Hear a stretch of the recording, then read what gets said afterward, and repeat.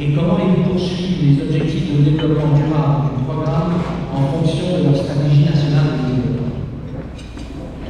Nous avons récemment entrepris un sondage auprès de 34 pays de l'OCDE sur ces questions. Est-ce que tous les pays déclarent avoir mandaté une instance précise à mener cette entreprise Certains ont créé un ou plusieurs comités interministériels chargés de mener le dossier. D'ailleurs, certains pays comme la Suède et l'Estonie ont élargi la composition de ces instances de coordination et inclure des représentants de la société civile.